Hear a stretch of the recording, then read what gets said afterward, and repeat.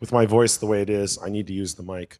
Um, hi, uh, my name's Hugh Daniel. For those of you who haven't had the the fun of running across me, um, I guess I called this meeting to solve some problems I have and to try and see about fixing uh, some major problems that I see in Linux space. This is a very Linux centric meeting. Um, let me let me start off by explaining my work. Um, I manage the Linux FreeS/WAN project. Our goal is to provide a stable, solid, usable implementation of all the technologies necessary to do secure IP communications for Linux. So this is going to be a very technical talk. And I'm not trying to drive you away or anything, but this is intended to be technical. And my goal was to get as many of the European developers of crypto pieces for Unix in one place as is possible. Because right now, crypto is kind of an ad hoc thing. And until crypto becomes infused at every layer of Linux or any Unix, security will be an ad hoc thing. And that means that most people won't have security. They'll have a box, they'll be running SSH or they'll be running PGP, and they'll think they're secure. But until we put this into the system so that every copy of Linux that anyone ever extracts off of a CD or off of the net has crypto in it, top to bottom at every layer, we're not going to have security. Every box is going to have some hole in it that someone like me, who's bright enough or at least bored enough, can crawl through in there and start causing mischief or pain for someone. So this needs to be solved. And my idea here was, hey, I'm going to be in Europe. I'm going to be where a lot of the, the hackers are already. Um, let's try to get everyone involved.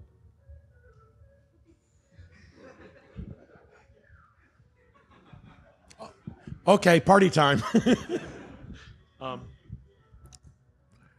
could I ask someone, is that disturbing you or just me? Just me. Okay, I'll ignore it. Um, the idea here was was to get people to sit down and talk about what pieces are missing and how we can start getting crypto into the various distributions, or at least the ones that come from free countries, which certainly is not the United States of America. Um, now, so, soon. I think down and back was the problem here. Um, so, I, as such, I don't expect this to be the Hugh holds forth for two hours uh, sort of panel. Uh, really, what I'm, I'm trying to do is get people talking about what they've got that they can help pour into the pot. Think of this as stone soup, except that I'm not starting with a, a pure pot um, and asking and stones and asking you to bring the rest. I actually have a few of the ingredients. Um, specifically, our team that we put together has a working FreeS/WAN or has a working IPsec implementation. It also has a working IKE daemon, um, both of which are lacking pieces. We have three paid staff that are working on pushing this forward at the moment. Um, they need help in various areas. Uh, most specifically, one of the first things that got me going is we need GPL'd crypto libraries. Uh, one crypto library that can be included both in the kernel for the few things that need it and that can be included in any daemons that get written or any user programs. Uh, case point and example is I'm pushing my guys real hard right now to start using DNSSEC. Um, if, if, if, if this is flying over too many heads, uh, raise your hands with questions about acronyms. I won't go into lengthy descriptions of things, but I'll be happy to describe what, uh, what a particular acronym is.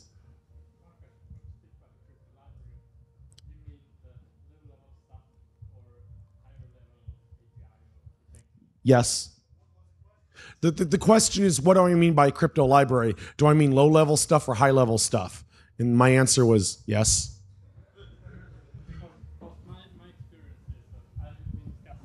Can you can, you speak louder, or can we get this more? Hold on a moment.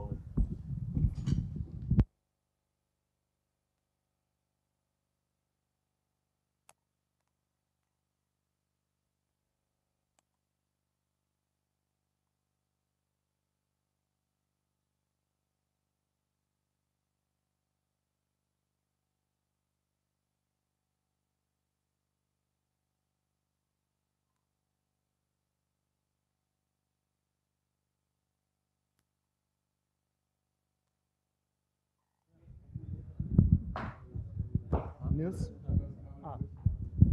Well, I've been discussing uh, crypto libraries a little with Werner Koch, the author of GNU Privacy Guard. For those who don't know me, which is probably most of you, I'm Niels Möller. I'm hacking uh, at the moment for an, an GPL SSH replacement called LSH. Uh, You're Werner Koch? No, No. Niels Möller. Nismo? Okay, right. And I'm Werner have been discussing a little and have had uh, different opinions.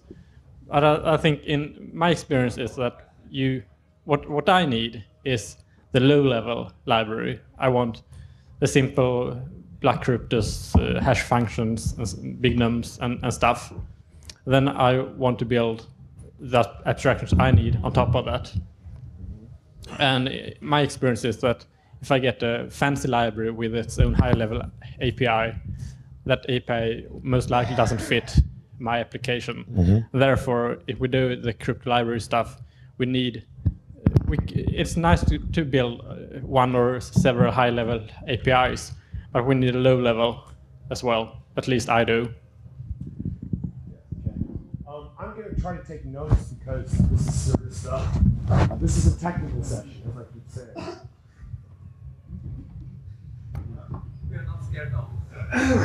Well, I, I'm really amazed. I have to say, I'm really amazed and pleased at how many people are here. I don't know if this is just good theater or if you're all planning on doing some hacking or something, but there's quite a lot of people here. I was expecting more like 20 to 30 people. Instead, we've got more like 100, and, a lot of you standing. And thank you for caring enough to at least stand and watch all this. So I have a question. How many of you, just raise your hands, have read parts of the Linux kernel source code? Whoa, it's working. How many of you have contributed even as little as a line of code that's ended up in the Linux kernel? Linux distributions. Any, any code that would be a Linux distribution. Okay? All right, everyone else who didn't raise their hand, clap.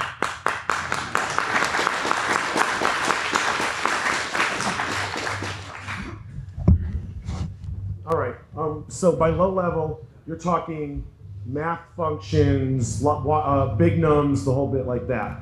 Primarily things like symmetric things, hash function, block cryptos. I want low levels, I want simple structs, simple defines for key length and stuff, and simple C functions that takes the state struct and some parameters. Okay. W- would you consider um, implementing, say, triple DES? Would that be too high for you? I mean, what I need now is I need triple DES. My team, I should say, needs a triple DES. Well, we've got a triple DES. We've got various things, but you know, it's there's this problem with um, the the libraries. Right now, there's a whole bunch of we're, we're arguing over the granularity of the functions we need.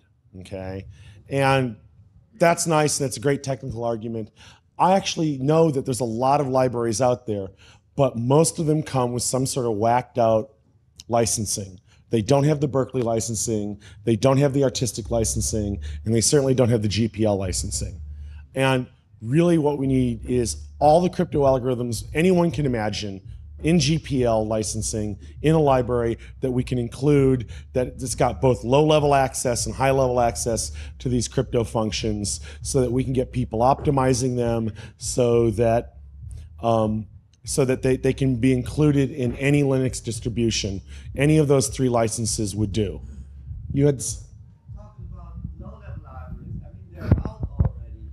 I, I, I don't see the point there. I mean, The- the- Blowfish is out, Twofish is out, uh, even Tooless is out, as far as I know. I mean, uh, talking about, uh, well, just repeated, uh, at this point, sorry, Tim.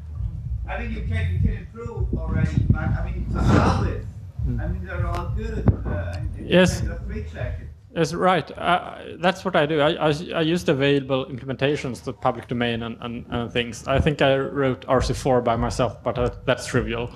So uh, the thing, if you want, it's more than the code.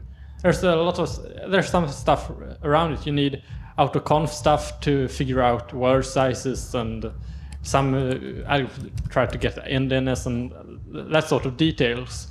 And you want to have it these things you want to use them collect them so that it is consistent. You also want a fairly consistent set of functions. For example, I want the state struct, the length, the data pointer, and, uh, and the conven- convention sh- should do, but it's, it's a good thing to have the same convention for all block ciphers. And that's the point of putting it into a library to get consistency. Consistency also, um, in, in my work with the Linux FreeS/WAN project, I have found a pile of libraries out there in my looking, and I'm certain I've missed some or something like this, right? But I haven't found one with a GPL license. Awesome. Well, look at the OpenPGP. If, if you, They have a clean inter- well, sort of clean interface and a clean, uh, well, a clean click, sort of plugin. You know, they all all on the same structure. Right, and, and, and OpenPGP, I can assure you, doesn't implement some of the algorithms my team needs this week. They- just, just Um, for an example. It's just an example. I mean, but, but they have it. That they have some pieces, right? I've talked to Werner Koch about this stuff in email, and When we're talking about email, just talk talk about basic stuff and how you how you just plug it into your system. You were talking about Blowfish, about triple S, just just drivers, you know, the low level block drive, the, the the block ciphers. The MD5, I mean the MD5 still has a bug as far as I know, because you're you're just switch the engine. So it didn't work on SPARC. Well anyway, doesn't matter. But uh, as for the GNU Privacy Guard, I've looked at that code and it's sure is I think it's pretty good code, but the API is too high level for my purpose. It has its own object system kind of thing, its own lookup for of algorithms, its own uh, dynamic load interface, and uh, I don't want that because that doesn't mix with my thing. I want to do my own my own abstractions about it. Are any of the OpenCA people here? Shoot, they haven't made it up from Italy yet. I guess it's a long drive. Um, is anyone else here who's actually doing, like the two of us, although I'm an American, so I can't code, right? Um, actually doing uh, crypto projects? Um, okay. Um, let, let me ask other people at, at this level, low level of libraries and stuff. Are you running into any problems? Would your implementations have gone quicker if you just had the pieces laying around? Yeah, I- I've had a bit of difficulty. I,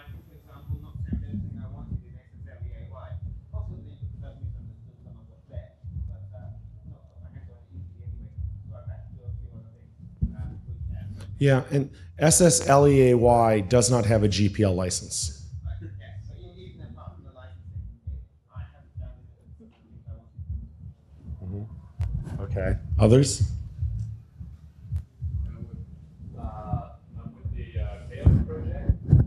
And uh we have the same problem that most other people have, namely that uh we can't write a crypto stack in the United States, we can't use crypto staff reach the United States, and so we are currently forced to practically re-implement everything. Uh yeah, one one of the Israeli people is doing that.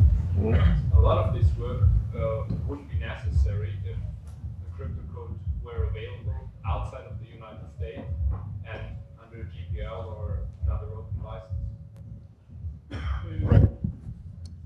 You, you may Keep the mic. No, okay. You might want to have a quick look at LSH and see if uh, if the GPL code there suits your, your needs. It's it has some things, and uh, Well- it's uh, at least I thought about making it independent of LSH, but I haven't got around to that yet. That's similar to Werner Koch in GNU Privacy Guard. Yeah. Yeah, I, I I think that one of the things that's happening here is we're all having to rebuild parts of the wheel. And unfortunately, we're all getting the diameter of the wheel wrong. And then we put them all together in, in, in a Linux distro, and we've got 800K of loaded crypto algorithms, which are different when 30 or 40K should do the trick. You, get solutions of, of files if you uh, use the IPsec patch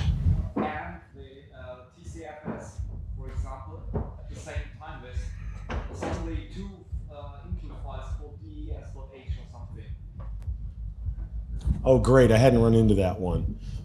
Ugh. Ugh. Um, so how does this get solved? Is is it is there someone who's interested in this piece? Can can we get you know you guys at Chaos to contribute some algorithms and you guys at Alsatian to contribute some others? Uh, is I, I can't do this work, people. I'm an American. My government thinks I'm too good for you. Okay, so you know we, we need people to step in here and, and look at this. What would be especially nice, actually, is for people like you to uh, email uh, to somewhere. I don't know where is a good spot where we can all communicate. Um, I certainly can't host a list in the USS of A. You can host a list, okay. All right. I, I think we have enough people to solve the problem. We, we, we need we need to start arguing uh, over requirements docs, and then uh, some lucky sod who decides they need to solve the problem gets to ignore them and implement something. I mean, isn't that the classic way it works? Um, yeah. kind of different option uh, review of the whole thing. Uh, I'm part of the OS team, the right, right to create AFS client. Uh, it's not on the GPL, but it's a DC license, uh, one pipe. Uh, we had all of the part because we use the Turbo, uh, crypto, and uh, actually it's not a part, uh, fast script, but that's all there is. So from my side, that you could use that. Kerberos or something like that to get crypto in your application if you want to use Kerberos. Uh, not if it's MIT Kerberos. It's not MIT Kerberos. Okay. KTH Kerberos. It's KTH Kerberos and and Heimdal. I- That's a free. Yeah, I think think we're not so interested in in um, protocol level stuff. Yeah, we, we it is crypto coded. Okay. Um, so there's another source. So it sounds like there's a few different places to mine crypto algorithms from. What needs to be done is we need an idea of low level and high level access to generic crypto, which I think should show up fairly quickly once all the people say, well, you know, you guys need this sort of low level and my guys need that sort of low, a high level. I don't think there's really a lot of collisions there. It's it's pretty simple. I've got math I need to feed bits into it, sort of thing. So that leaves um, actually somebody getting uh, excited to do all this. I, I do need to point out that some of this stuff needs to live in user space, mostly in user space, but the same library needs to get parts of it loaded into kernel space because there's no reason to have two separate libraries. The crypto work is hard enough to get right in the first place, let alone to optimize it. And things like IPsec are in the kernel. They have to be because they're dealing with real-time packet flows. The you in the back and then up front here. Test files for the crypto library. Okay. Uh, and hopefully someone else, so that you know someone's not suckered into doing too much of this work.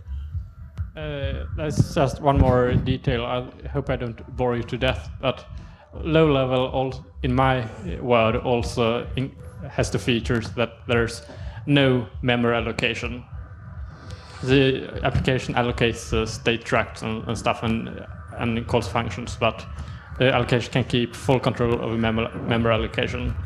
I think that should be good also when you do, try to use in the kernel. Okay. Um, other bits and pieces that people want to throw out. I'm taking notes. I don't know if I can ever let you subhumans outside of the U.S. see them, but I am taking notes.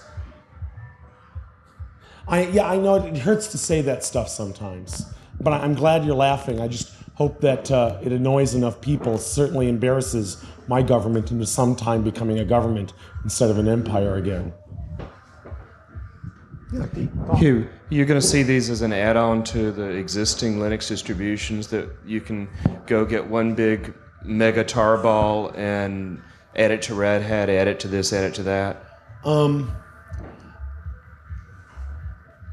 if you have to, yes, but I don't want to see that. I want to see when I, I want to be able, as a U.S. citizen slave unit, to order a disk from Europe and it arrives with the latest version of Linux. All the crypto's already there. It's all precompiled. If there's a new crypto widget out there somewhere. I can just download the source code for it, and it knows it. You know, its autoconf goes, "Oh, yeah, you've got the crypto lib," or it goes, "Nope, you don't have the crypto lib. Go get it." Well, others of us are too lazy to order from Europe, and we're going to walk to downtown Mountain View and buy it at the Yeah, Printers Inc. and- and, FTP the package that. Uh, we can FTP it. We we can get it, however, but you know the the guy on the, the street corner who's been told that Linux is the best way to run your small online business, he's going to buy a CD. Okay, and we want to be the best online business platform. Otherwise, Microsoft will claim the high ground, and whether or not they do it, they'll get the sales. have you talked to SuSE or anyone in Europe that might be able to do that? I'm trying. I'm trying. Um, it's it's. I haven't talked to them extensively because we weren't at 1.0 until April. We're at 1.0. We're working on a 1.1 now. There's a horrible bug with 2.2 kernels, um, and there's a horrible bug with uh, the fact that the uh, all the networking in the Linux kernels is going to get blown away yet again, yet this year. but that's all future stuff. Yeah, I'm trying to talk to them. Um, but you know, I, I don't want just our stuff in there because that's not enough. We need crypto everywhere. We need it in IPsec in the kernel. We need um, binaries that are signed so I can have multiple signatures on a binary. I need to be, I want to be able to do things like um, when I'm the root shell, I want a- an environment variable in my shell that goes, unless this binary is signed by one of these, one of the matching secret keys, you don't run it. You just don't run it. That binary is verboten. Okay, it's evil. Don't touch it. Um, we need the libs for user space. Um, part of the work here, and, and folks, this is extensive. We're going to have to rewrite all of the shitty little utilities. They all have to go. Telnet, FTP, SCP, RCP, um, uh, S, or RDate, all of these things are going to have to be rewritten to take into account crypto. And there's a whole bunch of cool work in there. And as long as we're at it, there's a whole bunch of things that need fixing. Um, we've got you uh, things to do like including the latest binds so that we can have DNS security, so that we stop getting our pages spoofed by people. Yeah, you're doing all that. Finish first. What? Finish first. Finish. Uh, the, I was running low on things, and, and I'm running low on voice, whatever.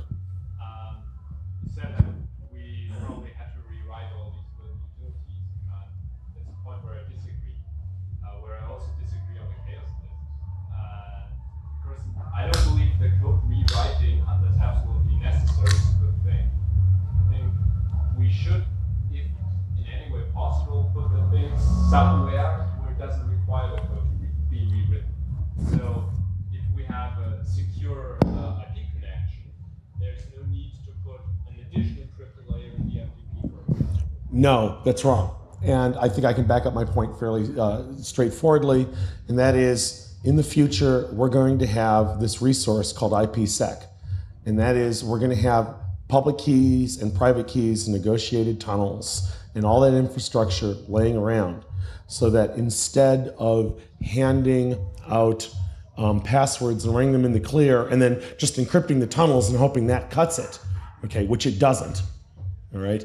What we can do is extend this infrastructure that allows us to negotiate secure tunnels out into user space. So the user can type in a passphrase to, uh, much like in SSH, to enable a crypto key, which FTP can then use uh, using um, IKE negotiation between the two ends to authenticate itself to the other end. And that requires rewriting all the utilities, and it's well nigh time for that sort of thing. It also requires designing the APIs to do all of this. It would be nice. It would be nice, but I don't think it's absolutely necessary at this moment.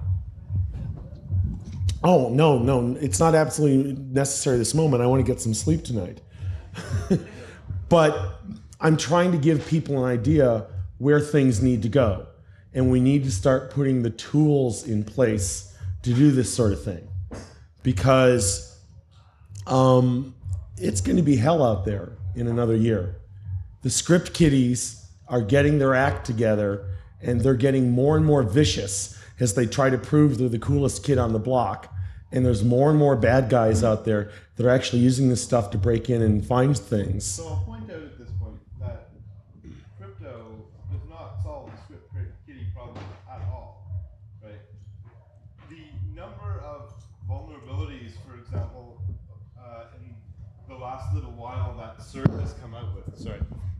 If you look at whoa, It's loud for me. if you look at uh, CERT advisories over over time and you graph um, how many of them would just be not have happened had strong crypto been available since the beginning of time and it's 20 30% at absolute best and it depends how you count um, most things it turns out are still buffer overruns right even even this last year, more than half of the CERT advisories were from buffer overruns. Okay, what have we learned since the internet worm? The internet worm was what 11 years ago now, and and oh yeah, looks like it's party time. Um, what were the problems the internet worm exploited? We had uh, passwords that were easy to guess. We had buffer overruns. We had transitive trust. Which of those three problems have we solved today? Okay, so we had trivial. That's a specific problem in something. Right? Okay, the Sendmail problem. Sendmail gets its own class. and it's it's it's definitely the class bad boy. Okay, so basically, we've learned pretty much nothing in 11 years about computer security, and and this is, I mean, important to me. I study computer security. I'm a researcher in computer security, and it's always disappointing that we we in the research community have all these great protocols, all these great systems. Look, we can do throw all this crypto at it. We can put uh, we can design hardware that has special permission bits in it, but no one uses any of it. I mean, it's it's always so disturbing to us. But uh, so this is a danger you have to keep in mind when you're saying put crypto top to bottom. Really, it's not crypto per se that we want. We want security. Crypto is one tool that we can use to achieve security primarily over networks or across breaks in your trusted computing domain. But there are many other uh, things you have to do to get security when you're not talking about breaks in your trusted computing domain, you're, or separations in your trusted computing domain, rather. You're talking about uh, when your trusted computing, when what you called your trusted computing domain is compromised. And does anyone not know the concept of a trusted computing domain? Okay, good. Um, Uh, no, I'm going to back up. How many people in the room really know what a trusted computing domain is? Raise your hands. Yeah, I was okay, afraid of so that. that's the other way around. Folks, this is serious stuff. Security is not a place that you can just get by like an American and, and be quiet when you don't know what's going on. Why don't you give a quick explanation? Okay, so the trusted computing domain is something that goes back way back into the into the annals of military security.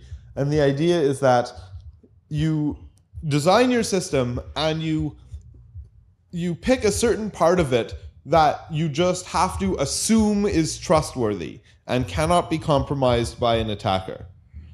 Then what you try to do is build up your system so that assuming that indeed your trusted computing domain is safe, you can uh, derive the safety of the rest of the system. Okay? Traditionally, the trusted computing domain was often whole networks, whole, say, buildings. Um, recently, that's moved. Now, trusted computing domains are more on the order of your desktop machine, right? If you have a desktop machine. I don't care what variety it is, if it's running Windows, if it's running Linux, if it's running your most favorite secure OS. If somebody else has physical access to that computer, you're pretty much toast. Right? If they can remove that computer and put another identical looking one in its place with software they have they have installed on it, then you're toast. Whatever uh, security properties you thought you had are just not there anymore because you're not touching the computer you thought you were touching. Okay, so uh, there is a move to even move away from trying to get from ha- having to have your desktop machine in a trusted computing domain and move towards things like pilots that people tend to carry on their belts. There's it turns out it's possible that if you trust your pilot, you can still do a fair amount of things on a totally untrusted computer sitting in one of those internet cafes. And that's interesting stuff that we know how to do today, but no one does. But more to the point, if you don't even think about what your trusted computing domain is, uh, you're in even worse shape because you're trying to solve a problem you haven't stated. Right? If the answer is 42, what's the question? Okay? That'll take about seven million years of research. You're all set. Right? So just saying, okay, we'll just throw all the crypto in the world at it, you haven't asked the question yet. You have to say what is what is our trust? what what do we trust? What happens if that trust is broken? Right? So what is a buffer overflow? It's basically a trusted program that turned out to be prone to attack. Right? So if you even do the signed binaries thing, root can only run signed binaries. Signed binaries can have buffer overruns, right? Just because they're signed. Um, so there's more to security than just adding crypto. And crypto can solve maybe 20, 30% of recent vulnerabilities, but it does nothing for the script kiddie problems, which for the overwhelming majority of the problems are still buffer overruns. Could you then? All right, Ian, thank you for chastising me. Now, apply everything you just said to this evening's conversation.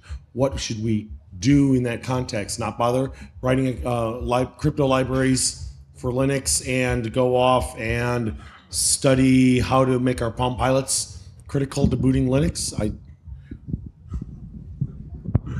what do you want to happen right what is the end result you want do you want to have pcs that you can say as long as this pc is trusted i'm safe do you want to have pcs that even if they're broken into you're still safe? What does safe mean?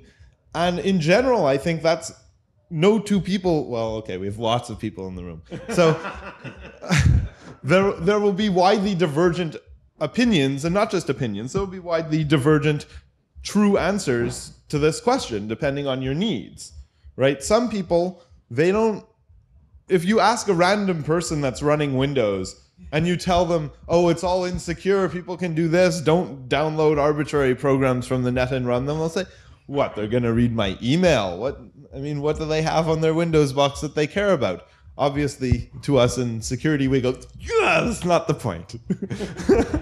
Um, I can start answering this, right? My project's goal is to provide network layer security such that when two boxes communicate, there is no reason to expose anything that would allow you to trivially break into the machines or to know what's being communicated other than at such a time a packet of such and such a size went between these machines. Okay? That's what my group is doing. What I'm trying to push here is I'm trying to get it so that my group has the tools at our feet. Part of the problem here I see is we we are all of us doing crypto in, in, in GPL or Linux land or something like this. We're all having to build all of our wheels and roads and stuff like that from scratch. And has been pointed out, our roads collide right? And they don't work well. I'm trying to get the various pieces just laying around in Linux space, such as um, anyone who wants to do a GPG clone or fix the horrid mail front ends we have now for encrypted mail doesn't have to go, well, let's see, now how do I build a road? The roads are there, they start using the pieces. I'm trying to get the pieces laying around. Um, you are next. Chaos. Uh, yes, we have different, different goal. We're not so much concerned with network security. Uh, we want to build the net, the machine sitting in front of you that you can trust. So the layer is different and the tools are But they're two totally different things. And I think for I think for that problem, you'll have much less emphasis on crypto per se. Uh, uh, for example, we're looking for a encrypted file system. Why do you need encrypted file system if you trust the physical? Uh, trust Because they don't trust the people who come in and take the computers. Okay, so but you just changed what your assumption was, right? If you were, no, uh, what is your trusted computing base? Uh, the idea is that if you have a encrypted file system, you have uh, two additional safety caches that you don't have otherwise. One is that uh, if your machine gets stolen, uh, the data is, if the encryption is good enough, pretty much useless to everybody. And the other is that uh, to get the machine up and running, you need to enter a passphrase. Sure. Okay. So that's an additional, an additional safety for you to make sure that the machine you're sitting at is the machine uh, that you left yesterday.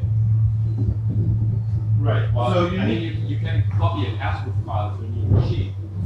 Uh, pretty difficult to copy a, a whole encrypted file system, changing it, or changing the process. Well, if your file system good. Yeah. Um, Right, so this just underscores the point that you need to state your threat model explicitly, right? Um, saying that your machine can be trusted is not sufficient nor quite accurate um, if your threat model includes people coming stealing the machine.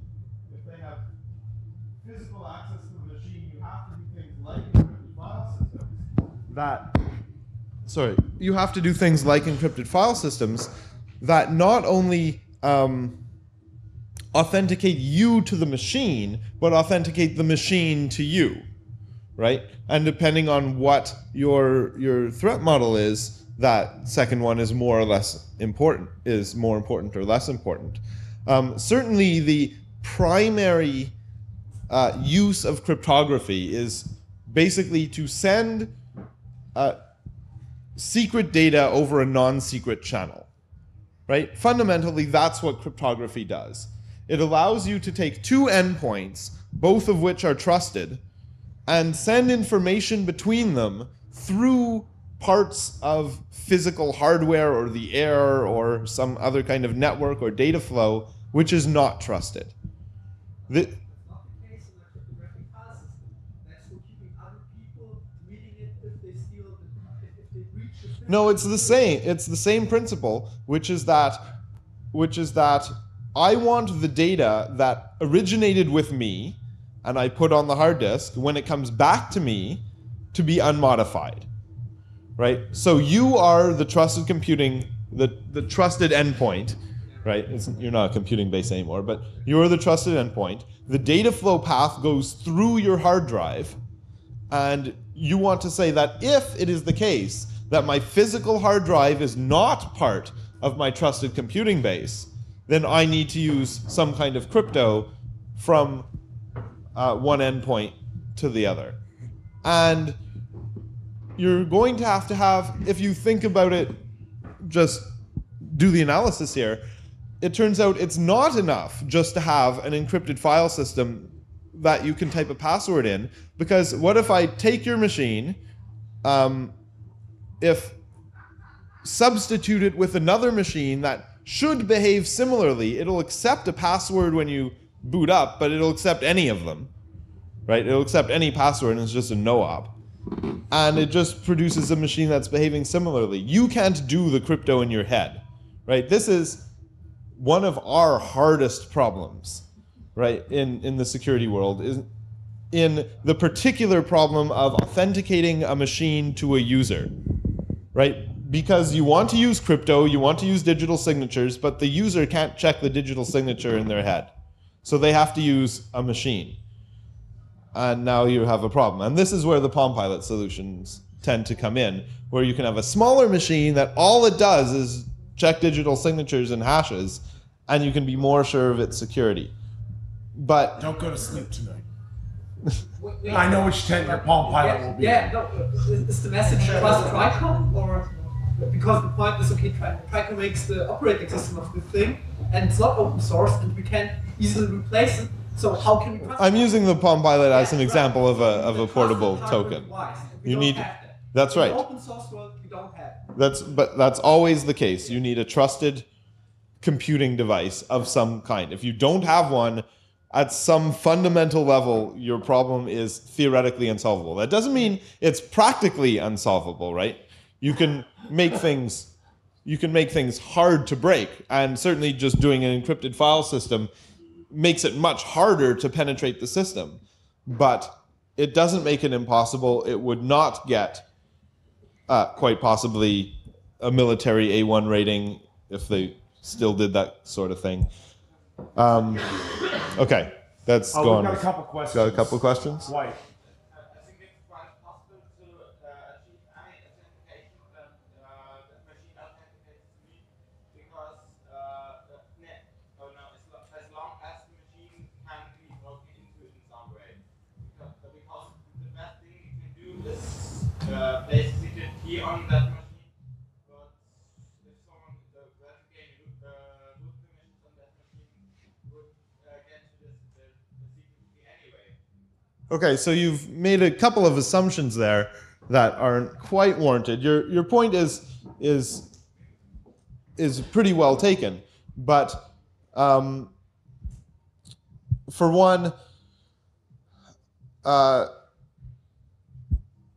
you said mentioned root permissions. I'm not talking about in general a specific Unix or Linux like system, right? It could be this this uh, is in hardware, for example, right, where you have the hardware authenticating itself by doing a checksum over its BIOS and over its firmware and telling you and proving to you at boot time that its boot sequence has not been altered, and then you can get into the encrypted file system right? Because I don't care if you have an encrypted file system if I can mess up your boot sequence and do stuff to your computer before Yeah, if, the if I can kernel put a even virus boots, right? In the boot sequence before your secure kernel get, comes up, you're toast. Right. So these are the kinds of problems we have, and they're they're hard. we, have, we have another question. You were Yeah. next, sir. just putting it together, I mean, all you're discussing is crypto is necessary but not sufficient, so we come back to crypto, so we do the necessary stuff first. Right. Okay. Crypto's so but- right. Crypto's necessary but not sufficient. But That's, that's what you're saying. What, what right. Yes. Won't solve all problems. Fine, we know that now. I think. Yeah. So we, we should get back to getting the crypto fixed, and then we can think about the other seventy percent we have missed till now. you can 30% and let's do it right Yeah. now. Okay. 30%. Let's get back. Well, Fine. do you have anything else to say? No, that's good. We can go back. Go ahead. Token. doing some kind of USB plugs like the hardware to authenticate your machine to Oh yeah, there are people talking about that, and uh, I'm, I bet you that the poor Microsofties are going to see a nightmare in um, USB dongles hanging off the back of their machines because it used to be you could fit one or two dongles on the back of a machine, maybe three if you had a parallel port dongle doing security things and screwing up your ports. Now you can have 256 on a machine, one for every piece of software some commercial company wants to control. Oh joy. all, all right. Um, yeah.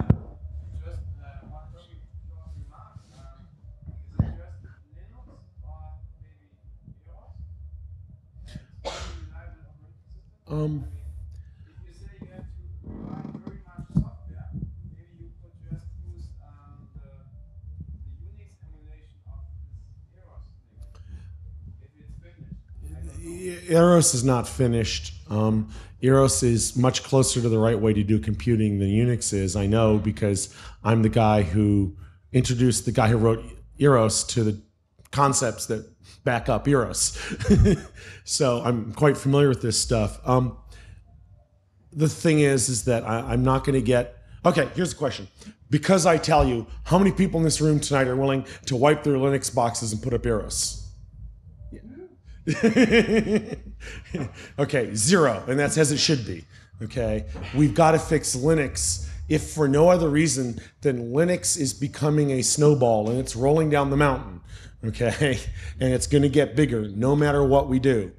um, I've been doing Linux for about three years full time. Before that, I believed the FreeBSD was a better OS. I still believe it is. I also believe that in the next year, if the Linux community works hard, it will be a better OS than FreeBSD. Right? I've got to fix what's going to get used at the moment that's Linux. Okay? Okay. Um, so we need a Linux library that is, is, is useful. We need to spec it out some. I don't think that's something that can happen here. What other pieces do people need to get these systems forward? Is, for instance, do we need public key stuff? What, what else is there? Grab the mic. For me, there are two big things that are missing and that I don't know from which uh, where I will fill them. and the first is is host authentication. Again, my, my perspective mostly biased from SSH style things. And the big problem with SSH is to authenticate the other host first time you connect. And it would be great to have some, some kind of infrastructure that you get the host key from a secure DNS or something like that. Okay. I don't really know the alternatives. S- secure DNS is somewhat a solved problem at this point in time. Uh, bind 8.2.1 um, and maybe. Okay. Don't trip down the dark holes out there. Um, especially if your name is Alice. Uh, D- DNS is out and available. Secure DNS is built in to the current binds. Um, are there any SuSE representatives in here that can tell us whether or not they're going to be including bind 821 or later in their next release? Well, I hope so. I don't know who's maintaining currently, so I have to ask Florian if the new bind version will be included. Okay. Um, but they're out there. The tools aren't all that great. And actually, um, the biggest hole in using Bind at the moment is there's no documentation, even at the how to level, of how to use secure DNS. That it, you- you get all the bits and parts and pieces for generating SIGs and key records and you know putting them in your your your your data and the whole bit, but you don't know how to use the pieces and when you you try to ask the pieces for minus minus help they kind of laugh at you.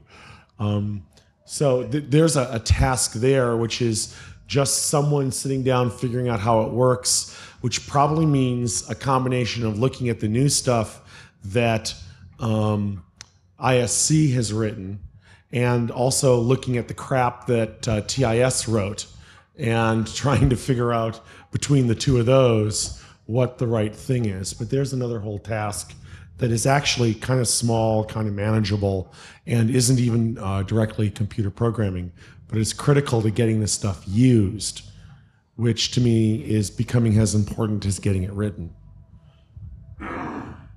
Does anyone have a Roto-Rooter? I think I need it for my throat.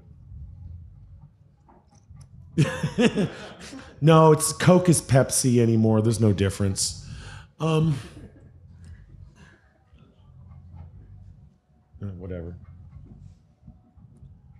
So the, the next question for me, at least on, on my list, is APIs. Um, in that there's a bunch of different layers that APIs need to be done at. for this stuff. There's the low level stuff. There's some mysterious higher level stuff. Um, how many people that are actually writing crypto code need RSA and stuff like that? Oh, oh, oh. Okay, I want to see the following. RSA has pissed me off. All right. Um, one NSA dude joked in the US one day that if he really didn't want me to have a technology, he'd license it to RSA. So, so one of the things that would be really cool to see is on uh, September, October, September 20, no, August 20th, I think it is, in the year 2000, September 20th. Yeah. If Linux had all the RSA code you'd ever want, and you never want to use their code or license anything from them again. Um, how many people here need uh, that sort of stuff? RSA, DSS. I know I need DSS. I know I need RSA for our IKE daemons. How many other people need that stuff? Does that go in the same set of li- Does that go in the same library? Has uh, symmetric algorithms and hashes and stuff? Yes. Okay. Uh, Blowfish, um, Twofish, and the other AES candidates are these things that, that people are beginning to use or would use if they were available?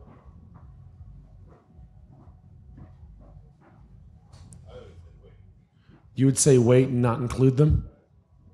I would I don't know about including them. I would not recommend using them at this time. I mean, all these candidate algorithms are very, very new, and it's uh, a little bit foolish to trust any of them right away. We have we have good algorithms right now that their main problem is their limited block size. The main problem with the limited block size is you can only send so much data with the same key. Um, for most protocols, that's not an issue at all. So for most protocols, uh, the the uh, block ciphers we've got now, even if you really care about block length, go triple mode like triple DES or something like that. 168 bits is fine. Um, unless you really have to encrypt lots of data with the same key, use triple DES and let if speed isn't too much of an issue to you, DESX if you like speed. Um, if you need stream ciphers, uh, we can mumble about RC4 about whether it's actually legal to use or not. Yeah, I mean, as as you said, uh, license something to RSA and it just becomes impossible to even figure out if you're allowed to use it or call it by its name or reference it by right. As far as anyone can tell, it's legal to use RC4 as long as you don't call it that. really, that's the ridiculous situation we're in. Um, Okay, uh, it has an alternate name, ARC4. Sure, and some people are calling it ARC4. I I could see RSA's lawyers taking you to court over that, and they're bigger than you are. Um, of course, I can see RSA. They're bigger than you are. I've seen their lawyers. um, yeah, I mean, there are all sorts of we we have two problems to fight in the U.S., which is not only do we have the export controls preventing us from getting the software out of the country, we have the patent controls and and uh, intellectual property preventing us from using it in the country. And hmm. I don't give a flying hoot about U.S. citizen slave units. If we have to go the way of the dinosaur in the U.S. because we're stupid, fine. Okay, I need the tools built for the people who are bright enough to use them. Okay, in the U.S., if you if it comes with RSA and RSA won't license me the product to to use inside Linux, then you know RSA is just going to have to hunt down every single person who's breaking their license with those nice big lawyers you just described. That'll keep them plenty fat.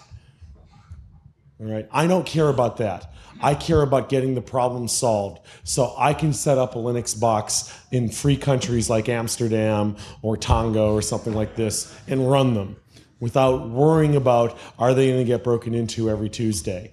Okay, when I'm in the USS of A on my laptop, I'll have to remember not to call it RC4 and use its alternate name on the command line or something crazy. That's that's people in the USA's problem until they bitch at their government and fix things. Do you understand the attitude I'm taking? Sure, I, I'm just skeptical that you ought to put bitching at the government in your critical path. Fine. It's out of my critical path. I won't bother. Let's get some work done. I think the last point was we need all the new algorithms, and I think the, the answer seems to be not really. I don't know anybody serious who really wants to use them. So, okay, for playing around, maybe Twofish or something, but I don't think it's a high priority. Um. Um, hold on, you're, you're two. Um, and uh, maybe my burp was one there. Um, the algorithms need to be in there, in my opinion, or at least Twofish, because they use completely different interfaces in that the size of the bits, the size of the cycles, various things like that. And there's no reason at this point to start embarking on building tools that don't handle the tools of next week. Yeah, they don't deal with the stuff from next year. We don't know what that looks like, but next week we have an idea if, if you you know live in live in weird timescales like I do. a couple of people were up. You were, sir. It was really the same. I said, well, by the way, Blowfish is not that young anymore. I mean, it has some. It has Blowfish, yeah, yeah. No, I'm, I'm comfortable So you, with you, Blowfish. Blowfish is free, and it's it's uh, well, We're- it's an annoying thing in the United States, maybe. It's it's free. I, I I know Bruce. Bruce is a good guy. He might be a salesman, but he's still a good guy. Um, okay, and and also we have to remember this here is an academic crypto scientist. All right, and nothing is proven secure until it's been broken. Okay. Okay,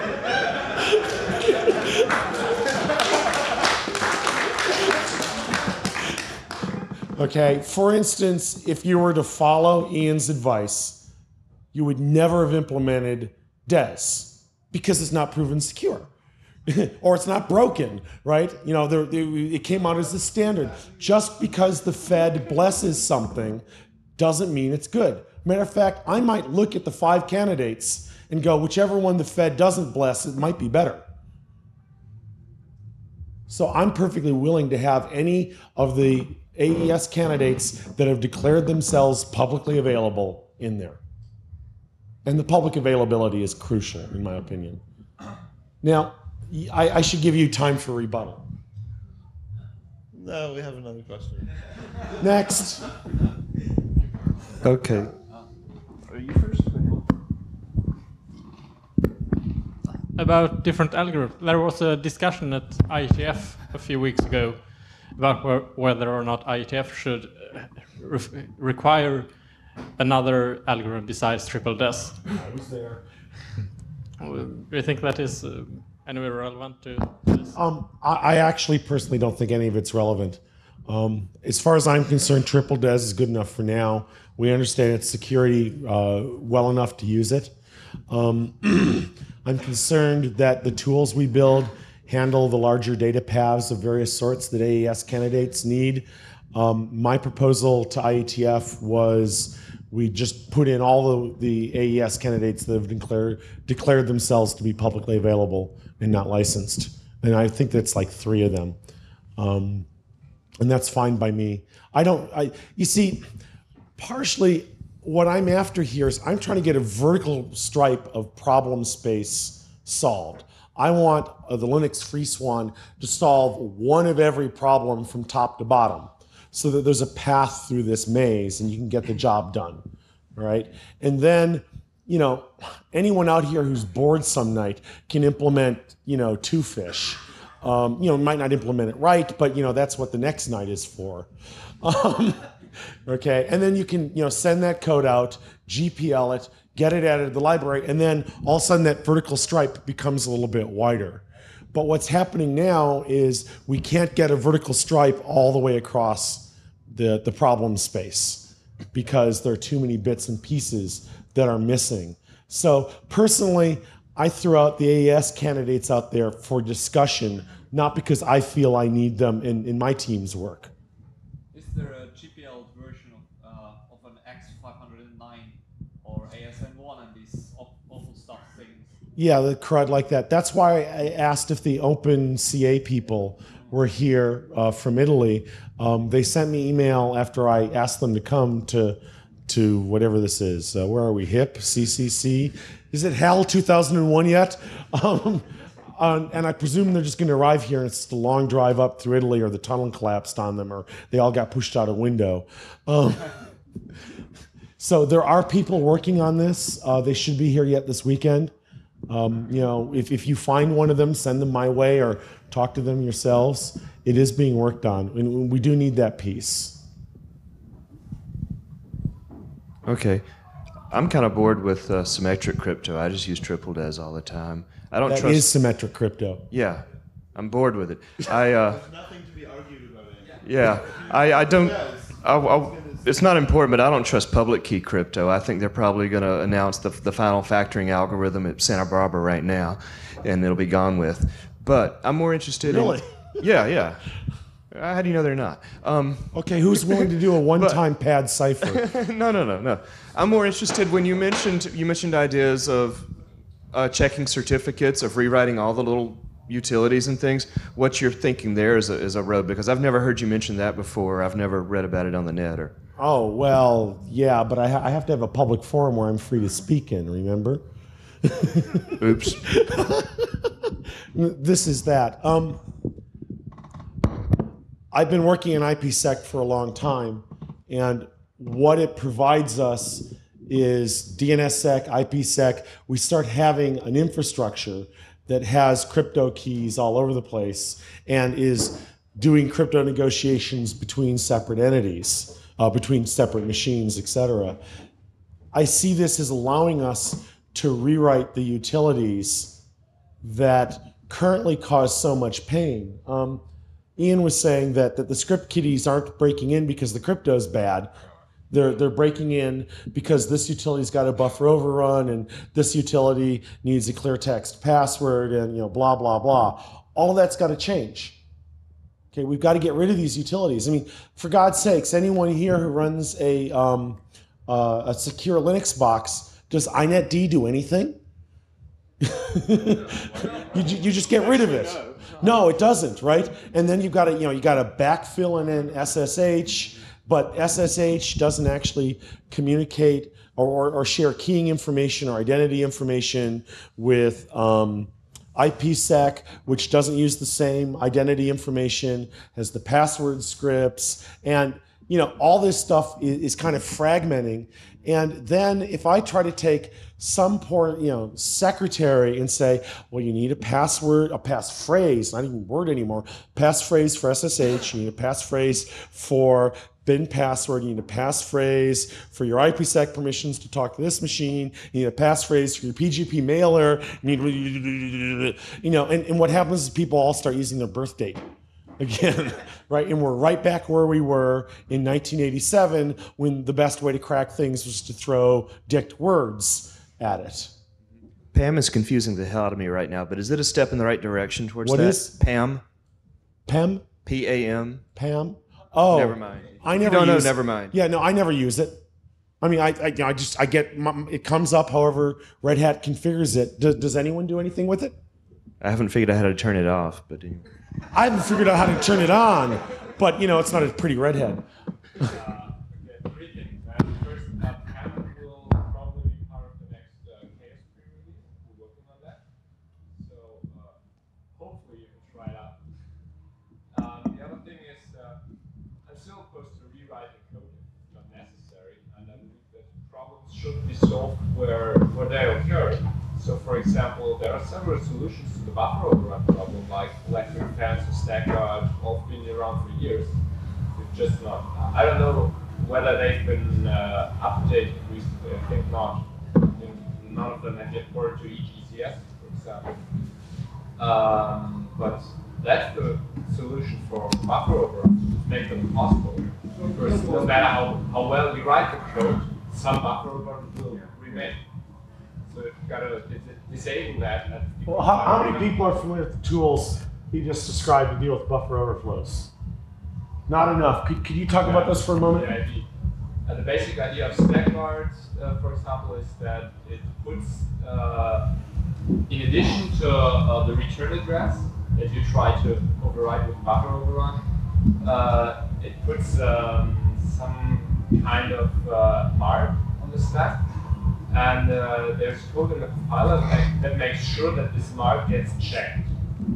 So if you try to trash, if you try to trash the stack, you must trash the mark before you trash the return address and before you can insert your malicious code. Uh, so the mark is missing, and uh, the kernel or the yeah, I think it's the kernel uh, finds that out and refuses uh, to execute this return or whatever statement there is, and just uh, just kills the program. Is that a good enough solution of the problem, Mr. Uh, Academic? Probably a bad approach. No, no.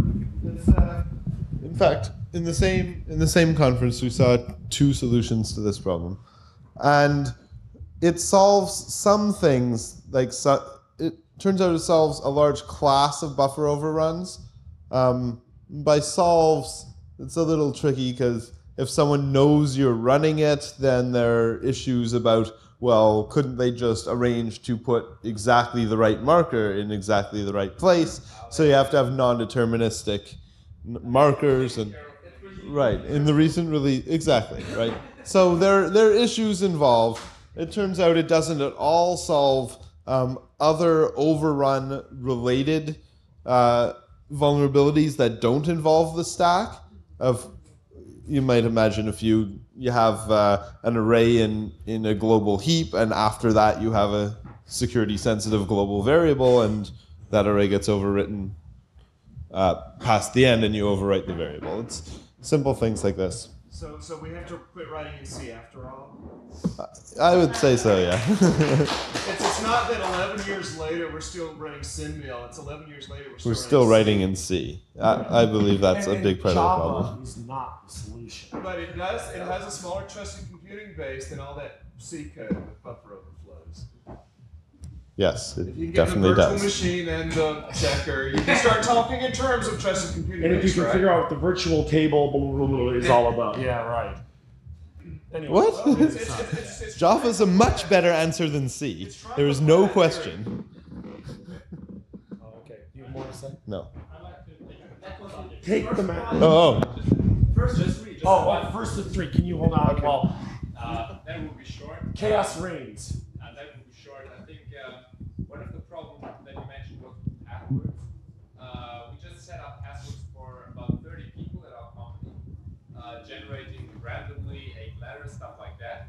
Uh, nobody can remember that. Well, they could, but nobody cares to remember them. So, oh, well, they lie around. Just, uh, well, I bet if I uh, go home on Monday and just stay uh, until 10 o'clock, like usual, uh, uh, open some random drawers, I find the passwords.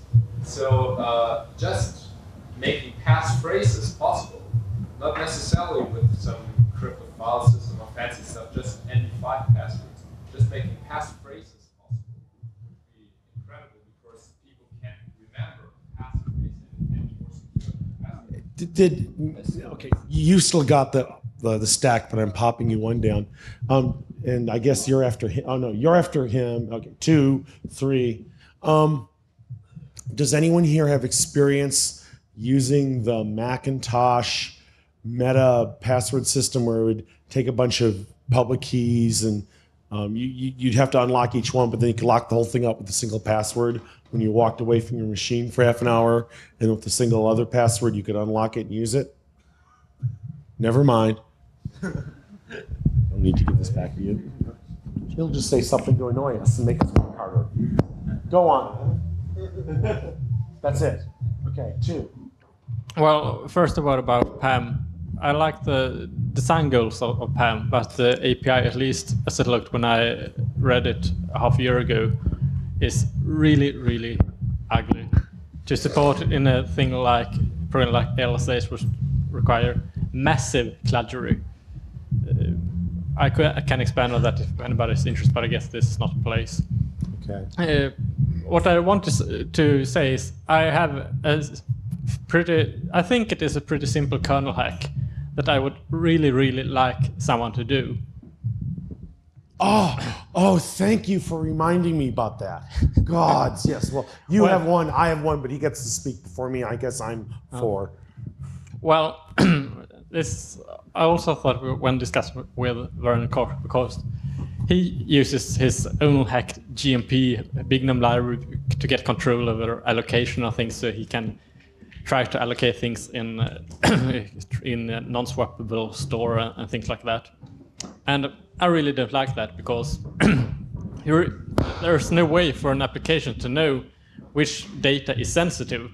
If I use a, a security program, uh, it's very likely that not only the keys but also the data is sensitive. So that has to be protected. And it's no real solution to turn off swapping of all data in the process.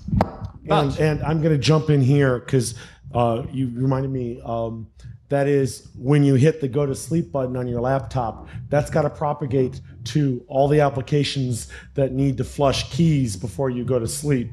And the guys at the airport take your laptop from you. Uh, but one thing I want is I want an encrypted swap. And I think that is pretty easy because the idea is whenever a process is created, you create a random key. And then you use that key to encrypt all uh, writable or all non-shared or something pages when, Is- they, when they are swapped to disk, decrypt it when they are swapped in, and when the process dies, the key should be destroyed. It's automatically lost that way. Yes, and that should be configured on a per user or per process basis, Yeah. environment variable or something like that. Yeah, uh, it's obviously a good idea to do that, and and mumble performance go by faster processor. Um, it turns out the hard problem is exactly what you said about uh, shared pages, shared pages across processes. You don't want to lose the fact that right now you can uh, have one physical page on disk or page in memory actually being the backing for two virtual pages. Um, so you need to, you would like to arrange now to start sharing keys, and now it can start getting a little, a little hairy. Um,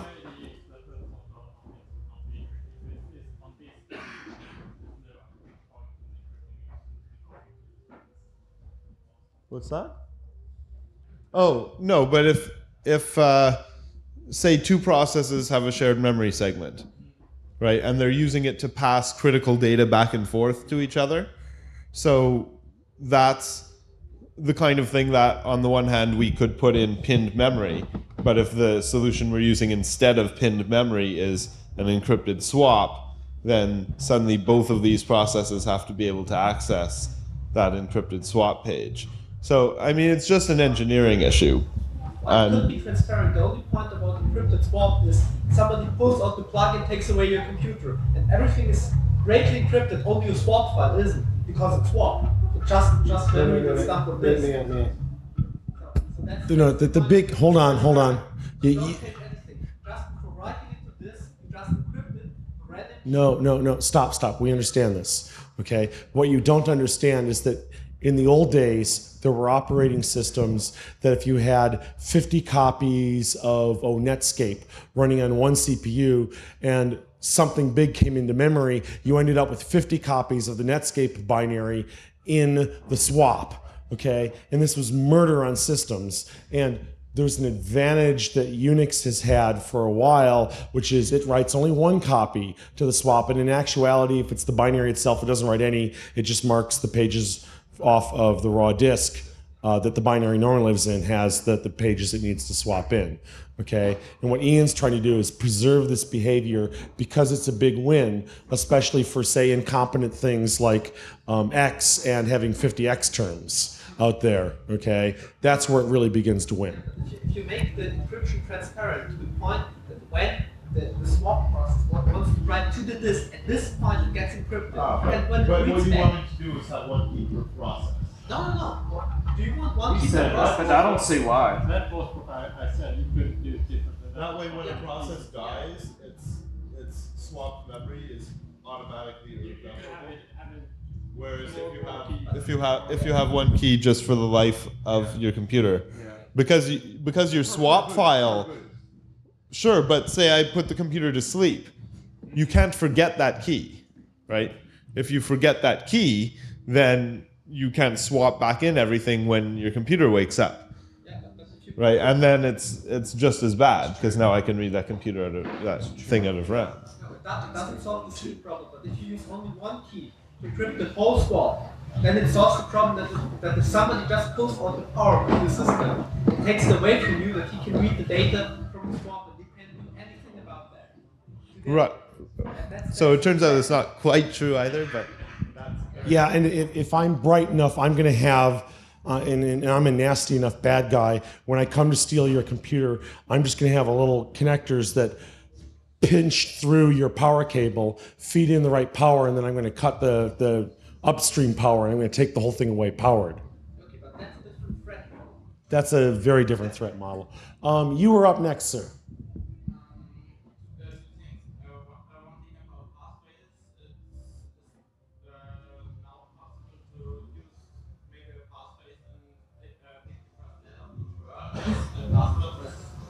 Um, uh, relatively secure uh, uh, uh, method for picking password because uh, it's uh, these words are usually not, not in dictionary. Um, so this would be a method to remember passwords. Uh, I'm sorry. What was the oh first letter of each word Yeah, method of Yeah. doing it? Yeah, that's the user That's- education problem. that's uh, this is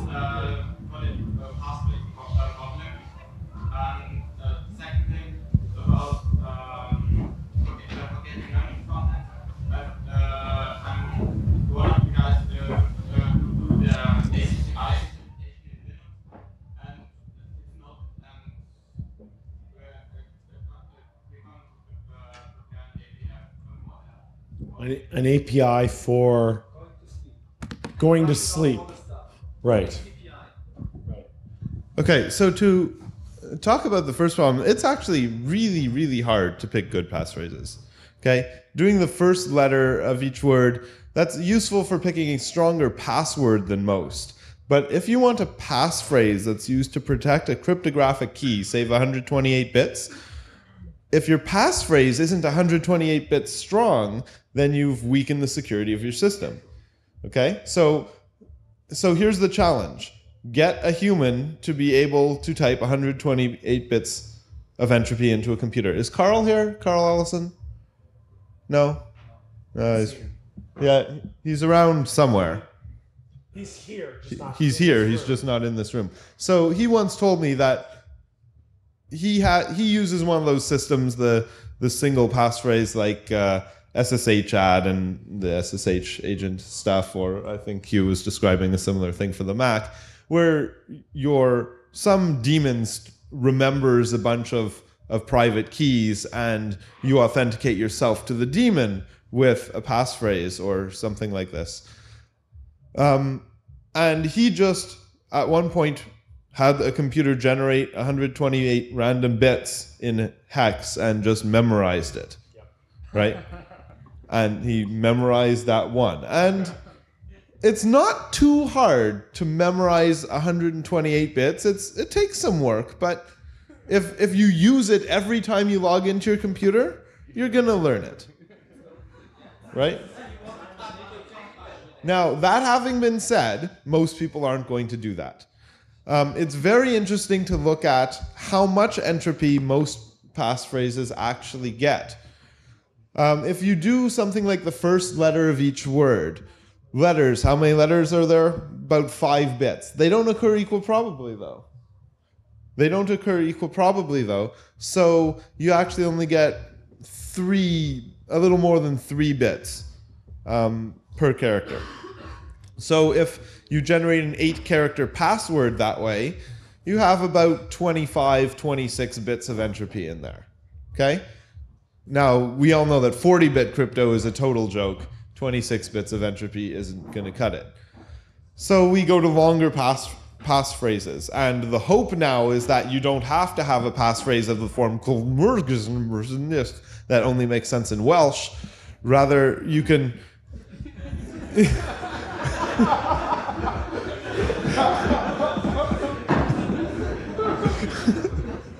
you can actually have like long sentences and hope that the length makes up for the redundancy. Okay? The problem is it still has to be really long. English, it turns out, has less than two bits of entropy per character. So if if if you're typing an English sentence, it's about 1.2 actually, um, and you want 128 bits of crypto of entropy in there, you have to have a 100 character passphrase. Right? That's a really long passphrase, especially if you don't get to see what you're typing and you have to get it right. Right? This is a non-trivial problem. So, okay, so what is the fundamental problem here? The fundamental problem is that your brain is stupid, right? it for some reason can't remember 128 bits of stuff reliably, and your fingers can't type them reliably. So, what do we do? Well, we attach a smarter brain to ourselves, and we use uh, a piece of trusted hardware. You mean your board brain? You're sure, like right here. So, um, it's a common, it's a very well-known problem. How many people here have a pilot or a Psion or something like this? Wow, that's a tiny, much, much tinier number than I expected here. Ask how many people have a smart card in their wallet. Right. Okay. How many people here have a smart card in their wallet?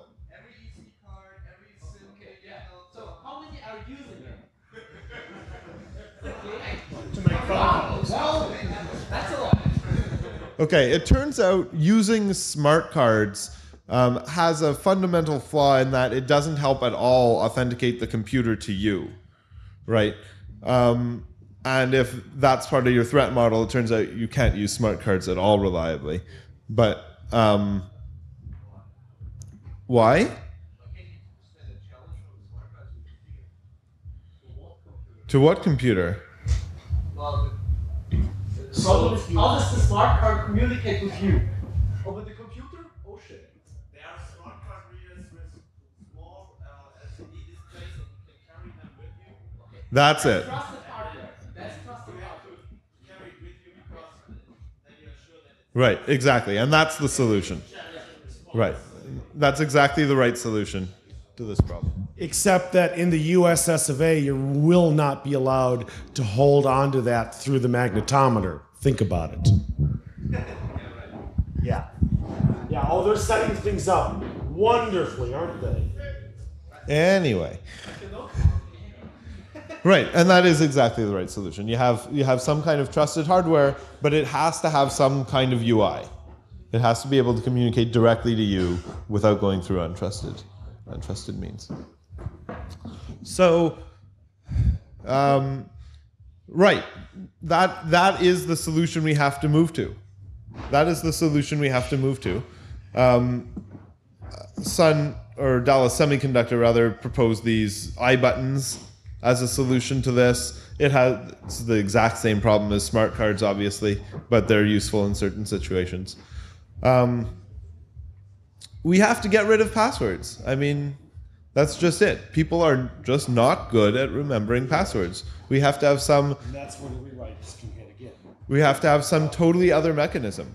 Now, remember, there are two major kinds of passwords and passphrases. One that we've been talking about just now to unlock uh, crypto keys and things like this that are stayed locally. The passphrase is never sent over the network, right? And there are the other kinds of passwords that are the traditional ones that are sent over the network. Those are pretty obviously bad, right? Anytime you send any kind of replayable token over the network, such that anyone who has ever seen the token in the past can use it in the future to impersonate you, don't build systems like that today. I mean, we have much, much better solutions. And all we need now is a library so we can use them. There's really a major problem with all the security stuff, and especially crypto, and that's the user friendliness. I, mean, basic problem is all the stuff is really too hard to use. I mean, I, had lots of customers, and the really biggest problem is make the user do the right thing. Make him remember his password, don't write it down, all that stuff. Make the user remember five simple rules takes a big lot of money and time.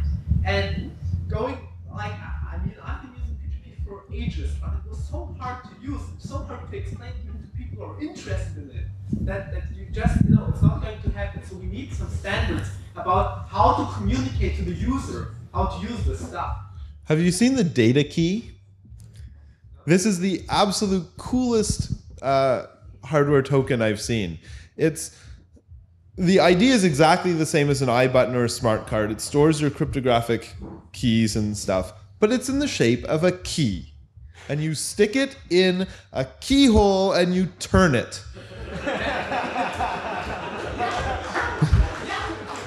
right? And this is just the so obviously right form factor to store your crypto keys. Just Uh, I think it's just data key. Search for data key. That's the name of the of the product. Thing, very similar things have been in use in the military, like for STU-IIIs and the predecessors. En- encrypting phones and stuff like this had had the same form factor of uh, physical keys you would put in and turn.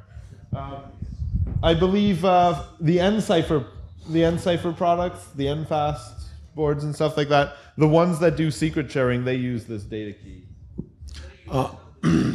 there's a reason that I refer to this as cryptographic hygiene, and unfortunately, it's as bad as using a condom. Um, can we have your comments? Right. Um, observation on difficulty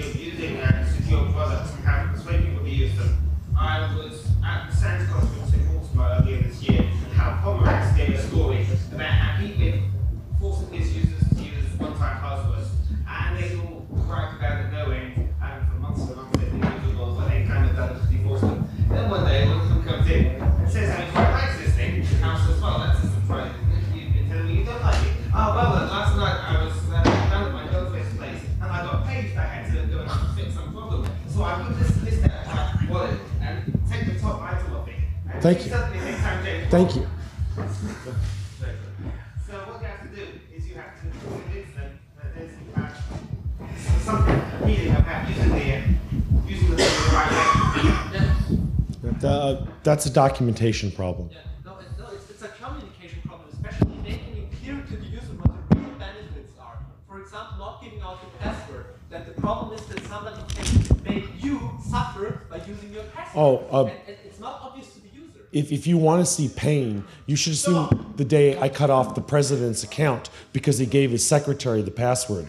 Ooh, ooh. Would you like to say something? I'm speaking. I'm speaking very much uh, I must go. Okay. I show. But I am sleeping. That's okay. You know what I mean? Oh. I am sleeping here.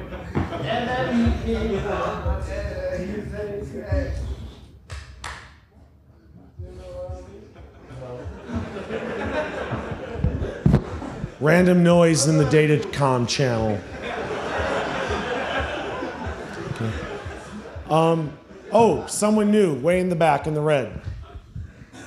Why are you sticking to pa- passwords or uh, tokens or biometrics instead of Well, I never want to see biometrics in our system. That's when we really start screwing up security incorrectly. Oh, okay. that's, that's an option. I, I tend to agree actually, but it doesn't matter. It's a way. Just like tokens are, just like passphrases are. I Yes. totally disagree on trying to teach the student, sorry, the user. It won't work. I've tried it. It didn't work uh, for my people. Put it that way. But if you can combine it, then take the weakness out of the password. By the way, a, key, a keyboard is a trusted device. Uh, everybody agrees?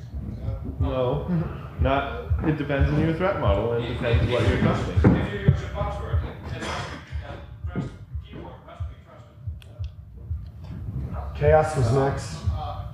Actually. Anyway, what I was trying to tell you is you could combine them. Okay, I- hold on. I'm going to strongly jump in here and agree with him, uh, whoever he is, in that one of the things we need to look at when we're doing our new APIs is providing multiple channels for things like this. Uh, another example is um, I think we need a new channel besides DNS name, IP address. I also think we need a new non hierarchical name that we can pass around that's based on the hashing of keys or something crazy, unknown, com- you know, completely unknown.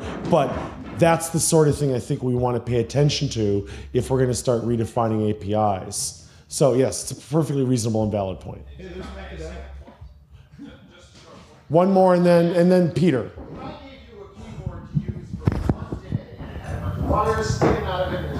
If I gave you a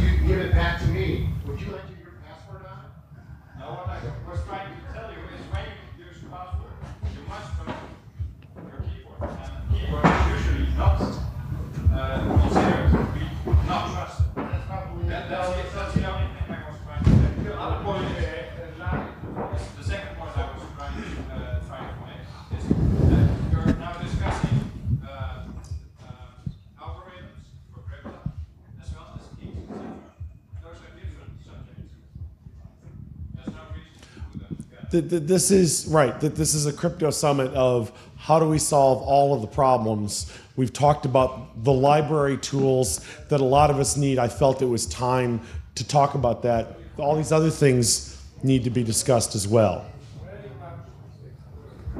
All right. Uh, Chaos was next, I think. More noise than the channel, I noticed. Yes. About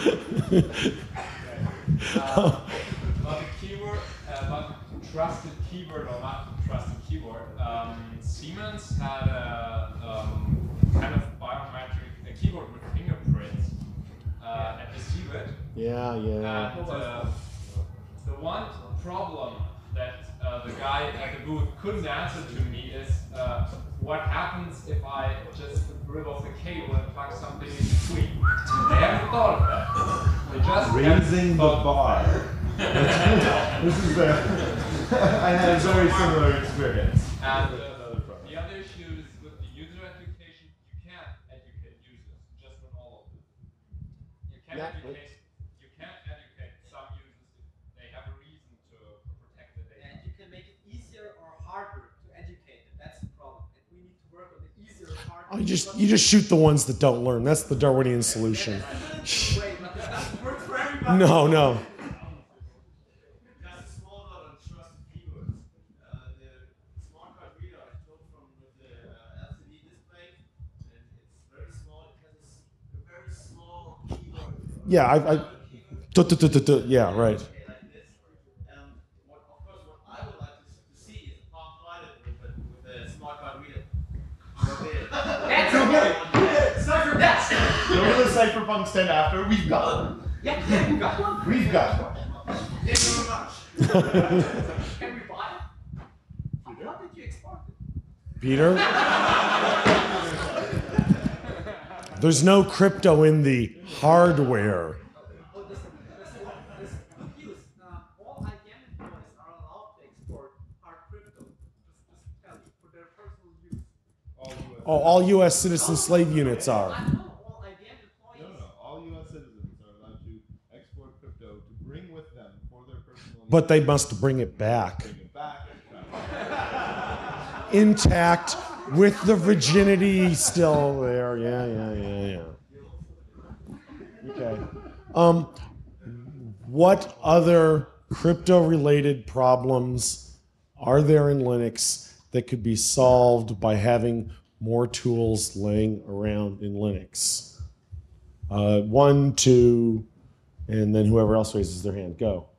Are there implementations for some kind of uh, getting even better randomness? Like, um, Go read the Linux IPsec list. It's been the topic of discussion during the month our, our other bug has gone nowhere and being fixed. Um, there's a lot of work going in. Oh my. Will everyone please? Is that the moon? Astronomy break. Let's all look at the gorgeous moon.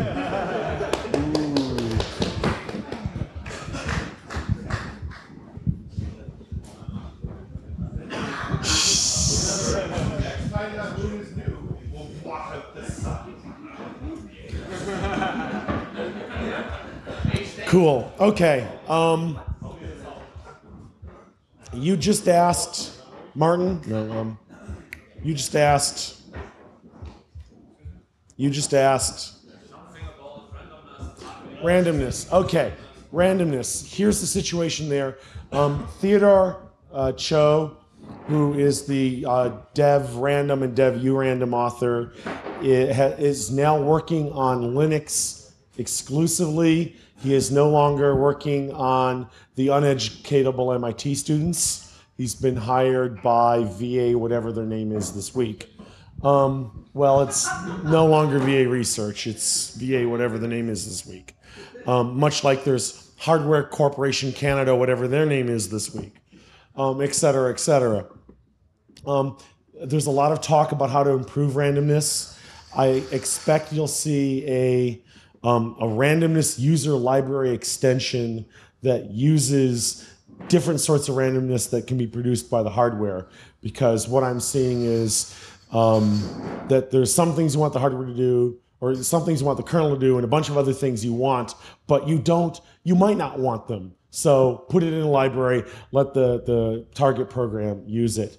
Um, there needs to be probably a cheap random number uh, solution available for machines.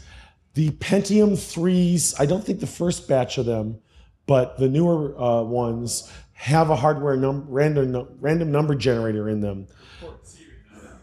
Well, and a serial number, but it's a little odd. Right now, um, John Gilmore has been trying to get Intel to release the information. Intel, being weird and psycho, has said, yes, we'll give you a machine to reverse engineer it, but we won't tell you how it works without a non disclosure preventing you from writing code to let Linux exploit it. it's, it's absolutely true. They'll give us hardware and let us reverse engineer it. They won't tell us how it works. Uh, that having been said, I would much rather approach uh, AMD, say, Hi, let's design one for you, and these assholes at Intel can go to hell. If they won't do the tools right, let's not give them money to continue screwing up our lives. Again, I wouldn't put that in your critical path. No, it's not. Okay, so that's the randomness situation. Randomness, unfortunately, is especially bad in one place, and that's machines without users in front of them, which is exactly the classic machine for what my team's designing for. All right, so a small hardware random number generator project that can be built for 20 bucks would be nice. So as we say in academia, that's a known hard problem.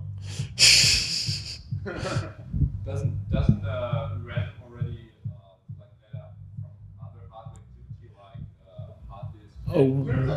Gets it from SCSI disks, but not IDE disks.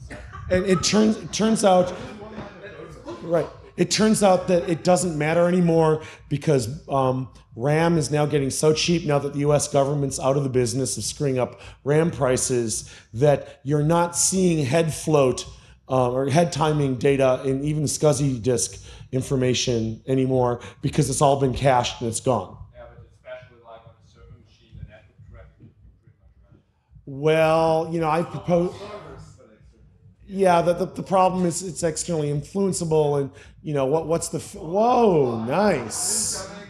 Whoa, not only nice but bright. um, influenceable but not controllable, and I'll let you have that debate with Theodore Ts'o. All right, I, I yes, I, I I will repeat the statement. Randomness is getting better. It would be nice to have a cheap hardware solution. Let me restate this. Uh, let me rephrase that in a way that's a little more evident. Product opportunity. Okay. Product opportunity. No, I mean, I, I, I could sell each one of those. I mean, I'd buy 10 of them for my research boxes alone if they cost under 100 bucks. Right. Okay. And, and, and, and so long as they didn't radiate the CPU into uselessness.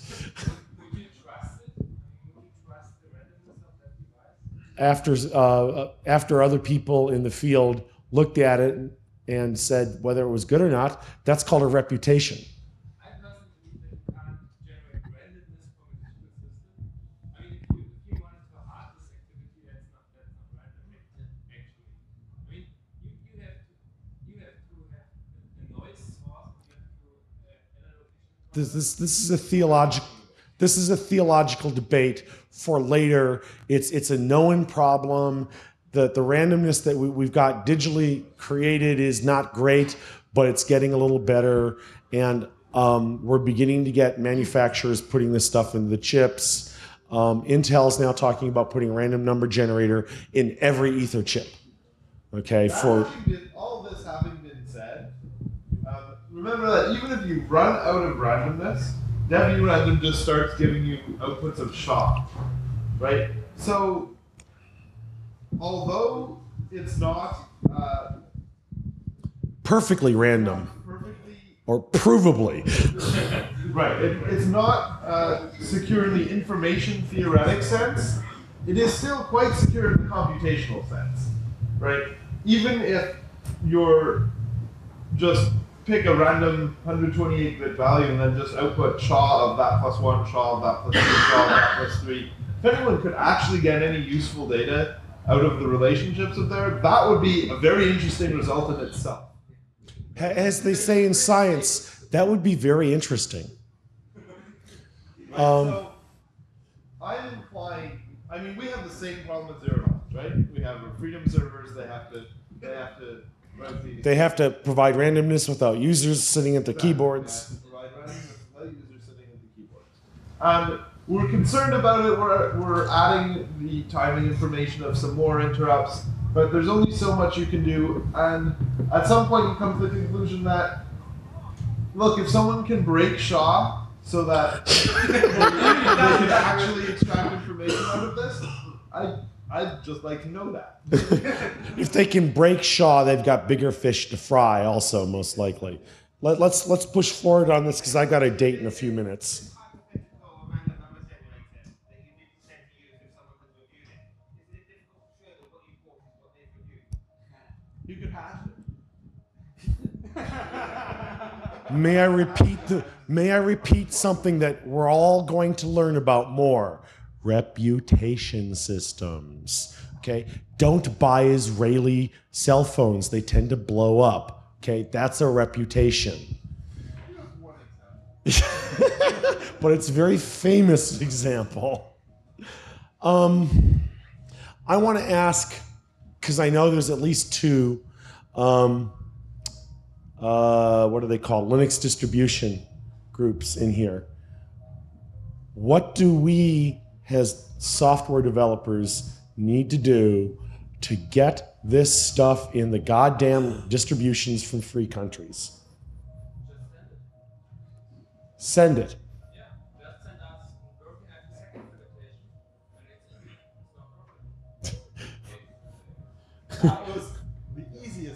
Ah. Are you? Uh, do you know if you'll be including GPG in the next rev? LSH. Uh, you know, I, I, you know, all the 50 things. A working implementation. A working. okay. Well, uh, unfortunately, I've got a great working implementation for two O kernels.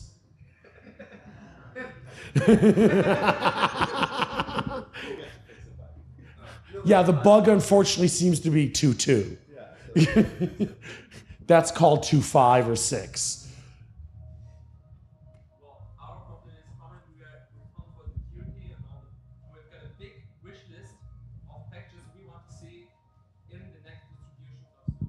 Mhm. Well, and it's very big. Right. SUSE hasn't got millions of maintainers, so there can also always be some packages get into the next version. So, for example, Squeeze one would be top, where others would be, well, lower priority. Mhm. Okay. But just send what you've got and, well, let's see. Well, that, that that's what we pay them for. They can't do it in time for what we want. I mean, they will do it eventually. you They, know. they, they might not do it in time for what you want uh, or what I want, but yeah, I understand what you're saying. Okay.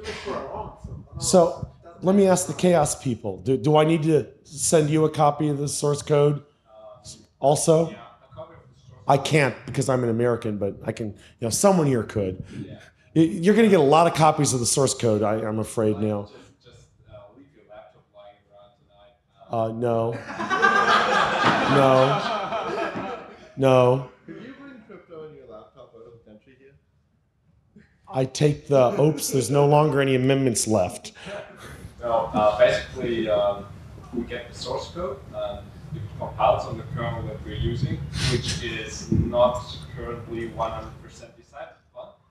Um, uh, so we might use an older kernel still, at least for the next two, Yeah, let, let me ask this, folks. Uh, oh, okay. Let, let me ask, this is really serious. Um, I don't know about you folks. I've been doing this a long time.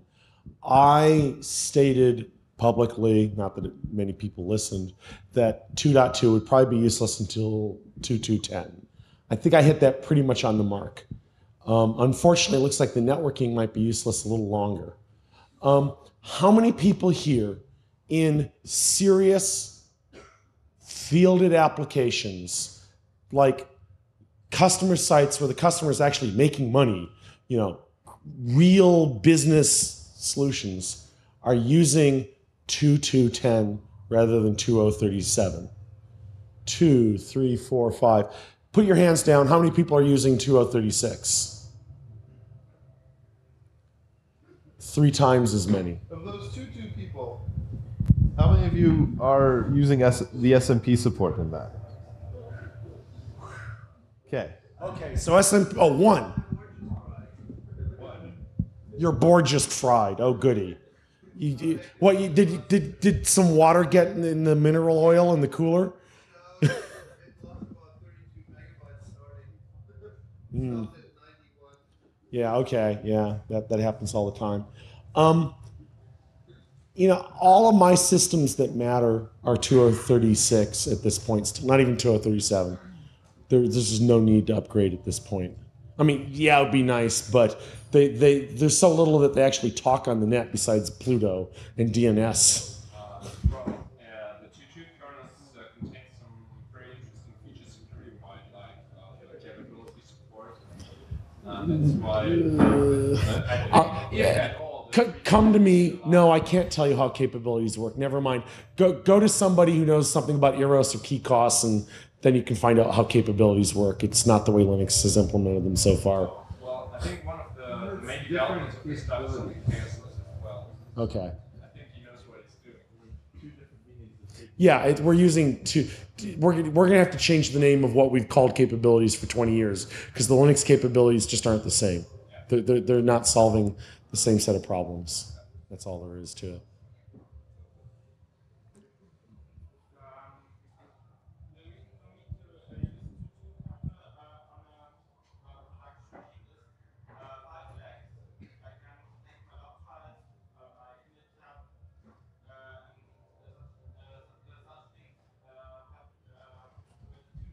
What flags? File flags. Oh, the immutables bullshit.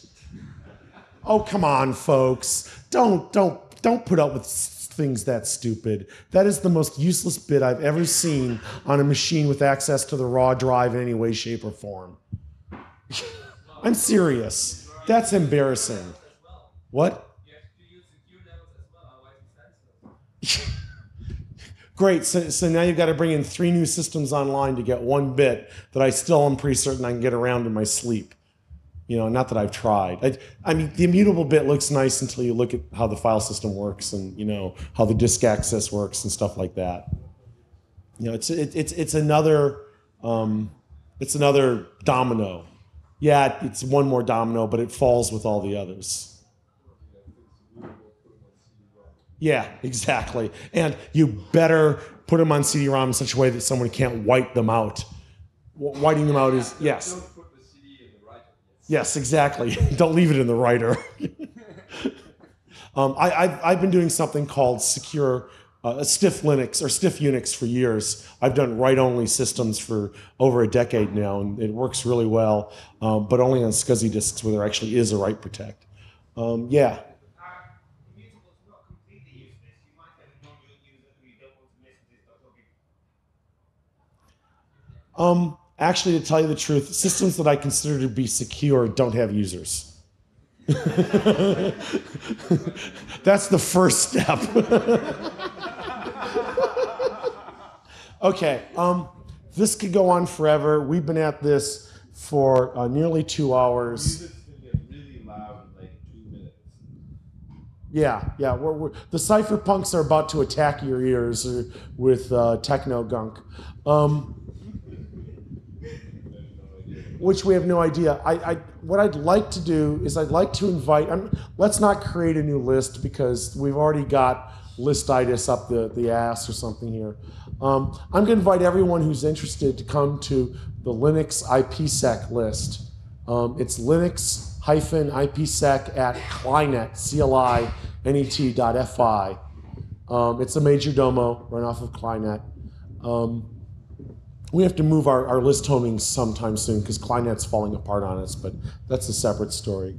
Uh, in any case, what we what I think we need to do, is, or you need to do, because I can't do any of this shit, is we need a low level, we need a low level and a medium level, I think I'll call it, crypto library with all the tools in it. I think from what I heard, you've got a few pieces, Koch has a few pieces, you've got a few pieces.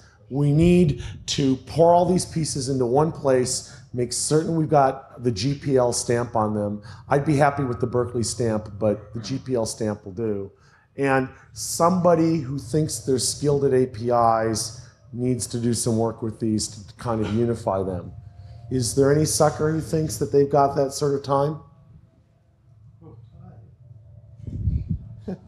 I know it's fleeting, a subtle illusion, but we're about to do the music warp again. We have a sucker! Yay! Everyone! Okay. Um, I'll corner you, I, since I know where you're sleeping. um, gill nets or uh, drag nets? Which do you prefer? gill nets or drag nets? It's fishing terms, never mind. Um, all right, so, so that problem is put asleep. Oh, oh, oh, oh, oh. Okay, I want everyone to help me on something, okay? Linus Torvalds is a great guy, but he doesn't know what he's talking about. Something we critically need in Linux is core dumps, okay? Or more specifically, crash dumps, okay?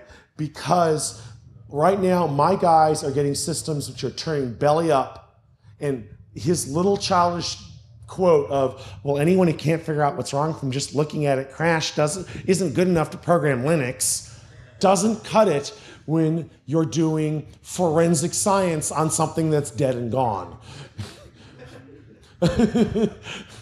Okay so you know what i'd like everyone to do I'd like everyone to bug Dave Miller for this because he knows how to do it and it has to be done. Because if we don't get something like that, we won't know what's gone wrong.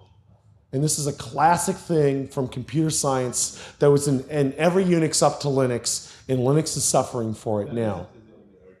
Oh, what's his other argument? His other arguments are that if your kernel has just like put bad values on its stack and jumped into the middle of random process space, do you really want it writing to your hard drive?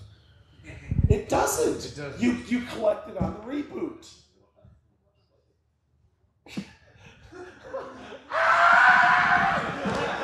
What? Oh. it's sitting there in fucking memory when you reboot. There's a the reason Suns are so abysmally slow when they come up uh, in the goddamn prom monitor is the prom monitor is running out literally of ROM because it's desperately trying not to twiddle any of the bits in RAM. right? Those bits are the last image, right? And if, if, if it looks like it's a crash, you write it out to memory and then you blow the memory away.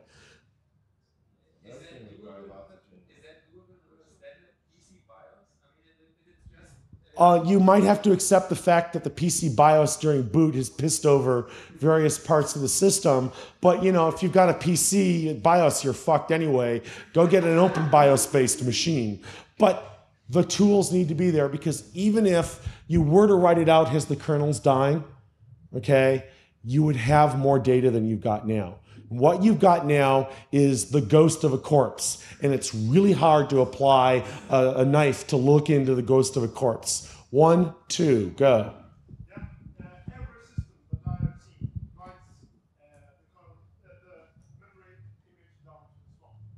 Yes, and it usually writes it to the back of the swap for a reason.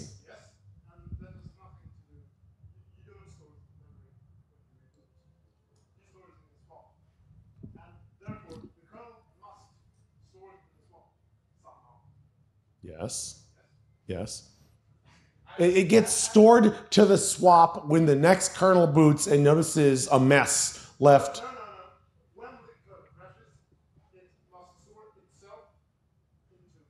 No. What operating system I know does this? What That- the does operating system? What operating system do not store itself as well when it crashes? Okay, hold on, Fo- folks. Let, let's try something out. When it crashes, it ain't doing anything useful. it ain't storing itself nowhere because it's crashed. okay, on, on all my SunOS boxes, because I, I was a, a, a bigot and I only used computers um, until three years ago when I got shoved into doing Linux on PCs. On my SunOS boxes, there's a phase during boot where There's a phase in the boot when you take it from the swap and store it on system. Oh, yes, there's some point during the reboot when you've got a valid kernel, when you save away the, the swap garbage and put it in a file and go, this might be a useful forensic tool, maybe. Yes. The panic function in the kernel stores that in systems that. Uh, the panic function stores the memory image down to the swap. If you're lucky. That's if you're lucky. If you're, If you're lucky. That's the way it works on every system that I know. Okay, all I want is everything I've ever had before. Even what is bad being happy with. He wants coordinates too, and I, I want to run GDBs on li- live kernels too, so I can get tracebacks from processes hanging in Yeah. the kernel, so I can so I can find uh, deadlocks. Yeah, When is it deadlock? Why?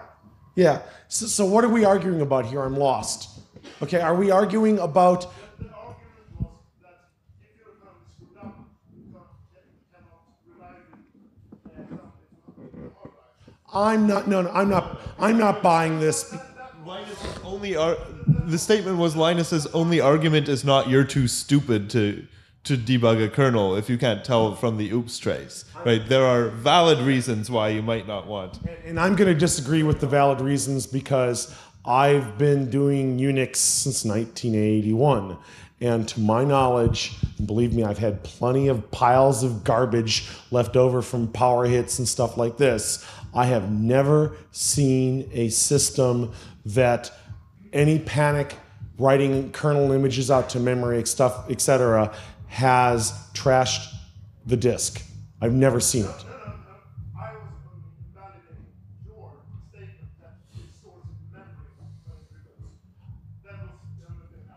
Uh, okay, I Yeah, let's leave this. You were not perfectly accurate. I was not perfectly accurate, and I believe I can go show you machines doing this. Let's not worry about it. We all want crash dumps. Um, I don't know. I've never met the man. I've been doing this for years, and I still never met him. And he supposedly lives down the hill from me. It's just never happened. Okay, so I've never actually heard his arguments, other than I was told that it, it's the broken problem, the the problem I quoted you, whatever. Store store the crash dumps to a special device like an extra hard drive. I mean, if you're doing development, you can just put in an extra hard drive and okay, trash it completely. Yeah, yeah, you know, I've got plenty of 300 meg drives, which will barely hold my memory images these days.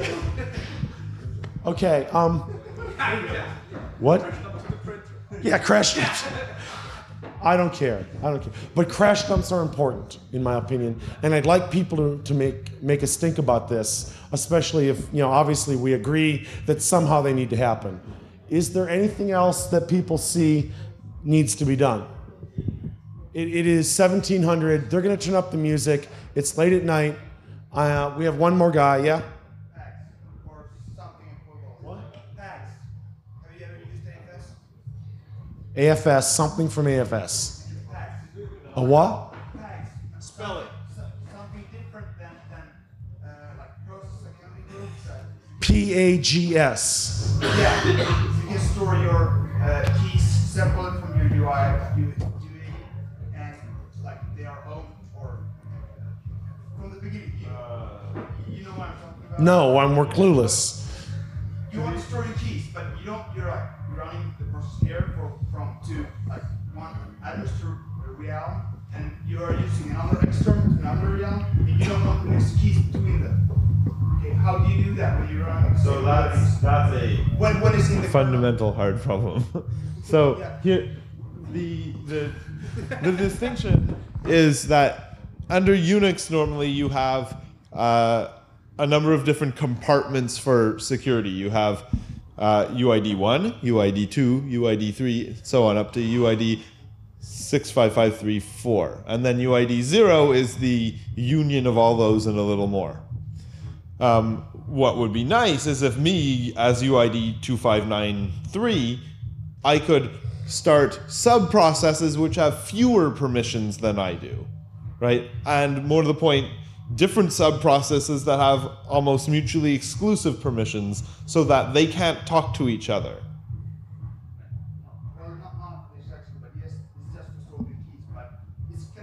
Right. So Can I, that's hard. it, it, it means, yeah. Yeah, I, at, at this late date in our, our time frame, since we're now outside of our time frame, uh, I'm going to declare this not a crypto problem, but a security problem. Because I've got the bigger mic. um, I think there's a bunch of issues here that we didn't cover. Things like we probably need some sort of insane mechanism for asking the system for some non-pageable memory that also, you know, do, doesn't go out to, you know, for putting keys in and other stuff like that. There, there's other work to do here. Um, I'm hoping that this is a conversation that gets started here. And as far as I'm concerned, there ought to be a, a, a Linux crypto summit at every Linux meeting in the free world outside of the USS of A uh, from here on out so that people can discuss these matters and, and figure out what needs to be done, build tools, and we'll see which ones survive the weird winnowing process of the Linux community. Um, I'm going to thank people for coming and declare this over. So before the music attacks us from that side,